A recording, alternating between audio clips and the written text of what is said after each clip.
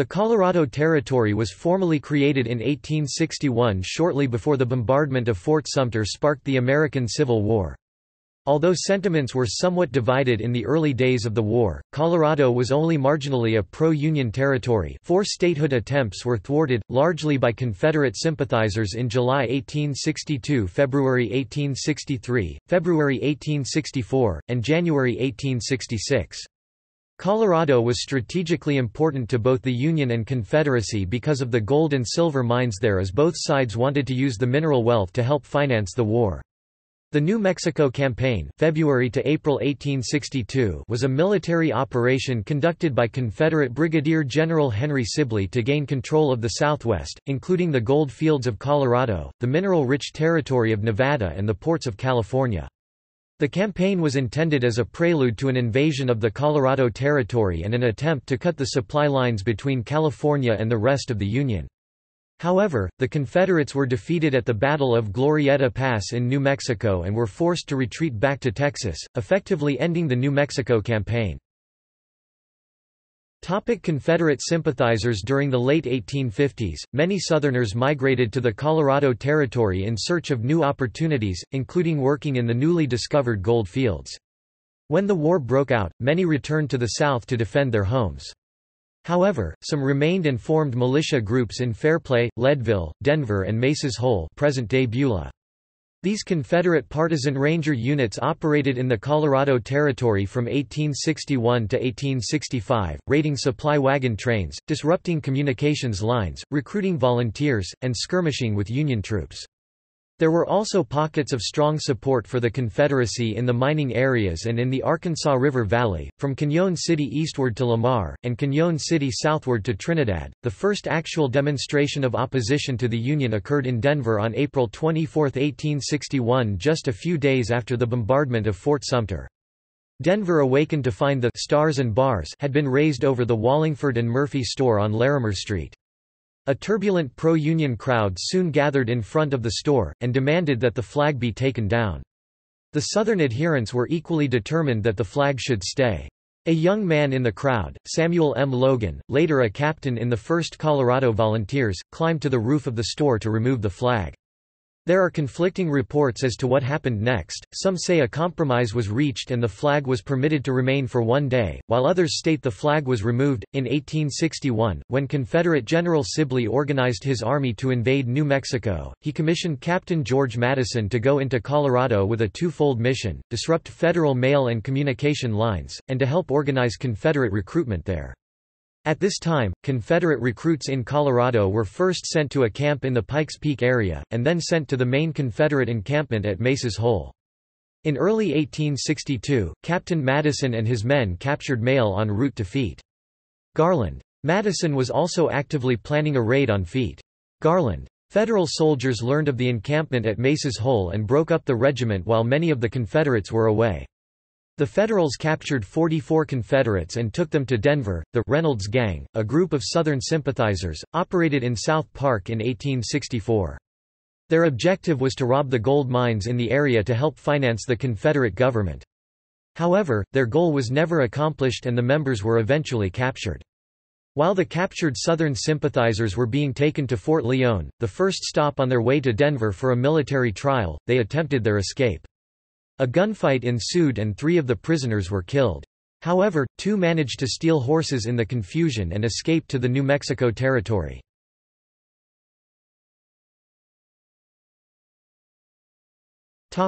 Other Colorado Confederate ties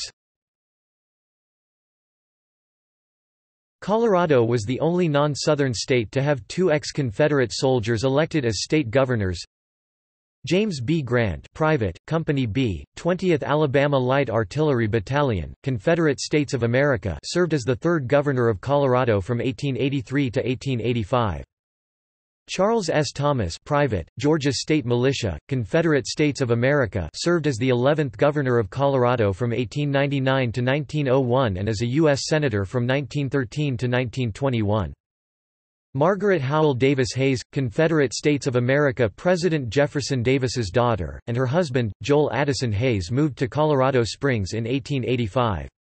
As her husband rose in city banking circles, Margaret became involved with charitable causes and was a leading member of local society.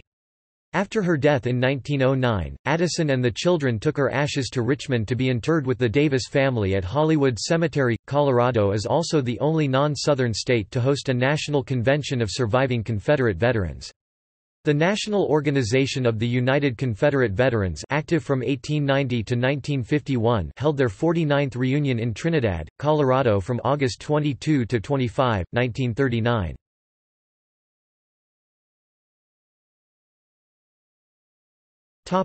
Union regiments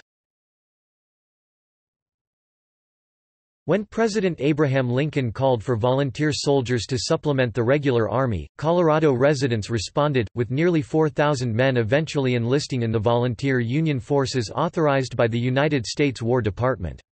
Hundreds more served in militia companies, authorized by the territorial governor, most of which were formed to fight Indians rather than Confederates. Three regiments of infantry were organized, which were reorganized as two regiments of cavalry, while a third regiment of cavalry was raised in 1864. Other residents enlisted in New Mexico units. The territory's first governor, William Gilpin, organized the 1st Colorado Infantry in August 1861. Nicknamed, Gilpin's Pet Lambs, because of the governor's involvement in their organization, the regiment and its first commander, John P. Slough, marched to northern New Mexico Territory in February to March 1862. There they fought in the battles of Apache Canyon, Glorieta Pass and Peralta. Slough resigned in April 1862 and was replaced by Major John M. Chivington. A second regiment, the 2nd Colorado Infantry, was organized in February 1862, with four existing companies of independent militia joining the volunteer service and forming the nucleus of the new regiment, which primarily fought Indians during its existence, although battalions from the regiment fought at the Battle of Honey Springs in present-day Oklahoma. Much of the regiment was later consolidated with the 3rd Colorado Infantry Regiment and reformed into the 2nd Colorado Cavalry. The 1st Colorado Cavalry had been organized in November 1862. In January 1864, the 2nd Colorado Cavalry was ordered to the Missouri border counties to relieve Kansas troops defending against Confederate partisan units.